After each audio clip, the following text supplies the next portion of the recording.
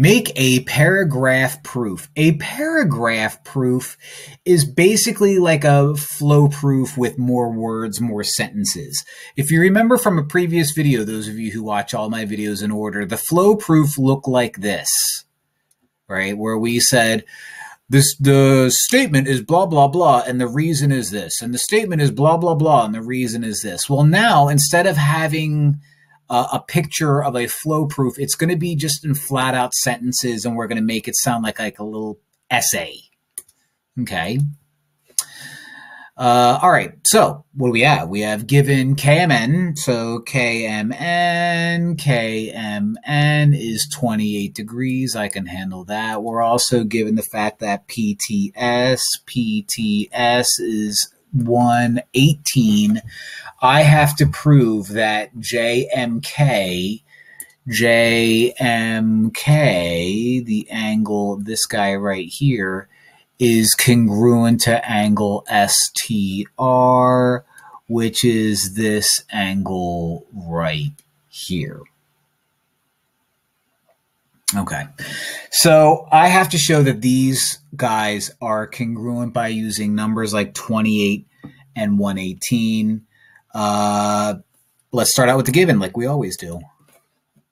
We are given, now keep in mind, little, little warning, just because I write it out this way doesn't mean it's the only way of doing it. I am those of you who watch my videos know that I stumble and fumble over my words all the time. I accidentally misspeak. Uh, I misspell words all the time. Don't be like, wow, that guy is the, the, the Lord of grammar. No, I trust me, no. Uh, it's just the way that I'm doing is a way that's correct, but certainly not the only way. So we are given that the measure of angle KMN is 28 degrees and uh, the measure of angle PTS is 118 degrees. Period. End of sentence. All right, how can I start connecting these dots? Uh, I need to find a way to connect green with purple here. So why don't I find out what uh, green is. Why don't I find out what purple is? And I'm sure at some point I will find out that they're the same. Now, what I know is I see that right angle right there. Okay. That right angle right there. So what I can say is that angle J M K and angle KMN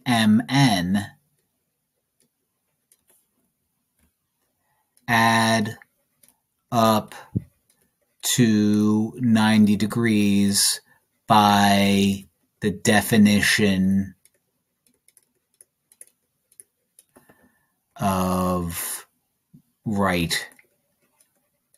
No, let's not say right. Let's say complementary angles because right angles implies one angle so let's say by definition of complementary angles, complementary angles is just more proper. Complementary angles. So maybe what I should have said is that the measure of angle JMK plus the measure of angle KMN equals 90. Probably a, a better way to say it. Already, my paragraph proof isn't falling apart. It's just much worse than it has to be. Uh, now, if that's the case, uh, what I can do is I can replace measure of KMN with 28. Using substitution,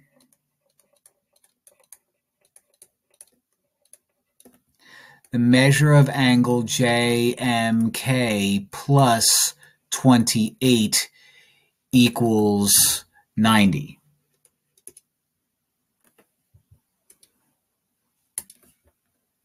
Now I can solve for JMK by subtracting 28. So the measure of angle JMK equals, what is that, 62 using the substitution property. Nope, the subtraction property. Subtraction property. Cool. So what I have, I have that you are now 62. Now, a lot of this, most of you kids watching this would be like, dummy. I know that I could just do 90 minus 28 and you wrote out like half a paragraph just to say that. Do we really have to do these for proofs? Yup. That's why this series is called gross geometry. It's not called easy happy time geometry. Easy happy time geometry is for you Khan Academy jerks. I apologize to the Khan Academy jerks. If they want to sponsor any of my videos, I'd be very happy. Now I found out what the measure of angle JMK is. Why don't I say that the measure of now what I'm going to do is I'm going to avoid writing so much here and just kind of jump right to that and say that the measure of angle STP, Stone Temple Pilots, plus the measure of angle PTS equals 180 by definition of supplementary angles. See, these guys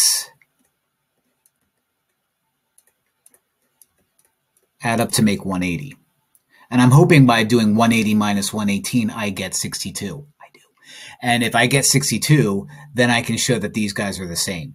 So what I can do now, since I can't ever make it that simple because proofs are a nightmare, what I can do now is I can go back up here and remember that PTS is 118.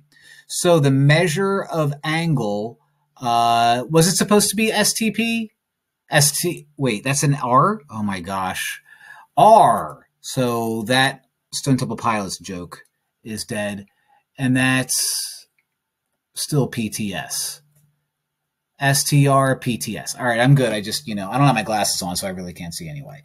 The measure of angle STR, okay, plus, let's change PTS, uh, is 118 equals 180 using substitution.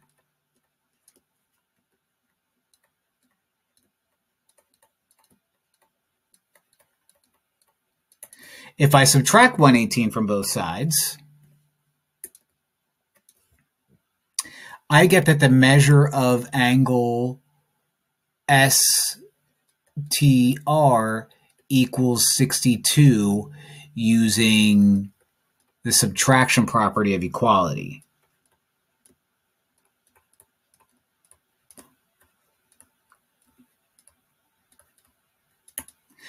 Now that I know that the measure of angle STR is 62, and I found out up here that the measure of angle JMK is 62, I can now finally say that JMK is the same as STR.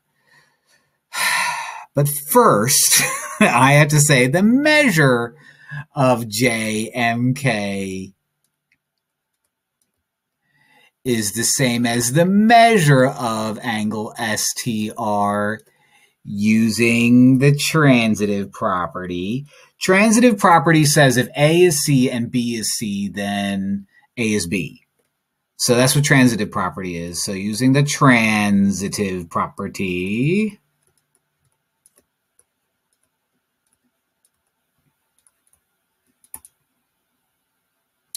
and now if their measures are the same, we can finally end this thing and say angle J M K is congruent to angle S T R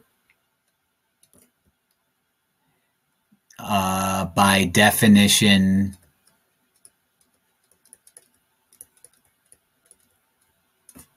of congruence.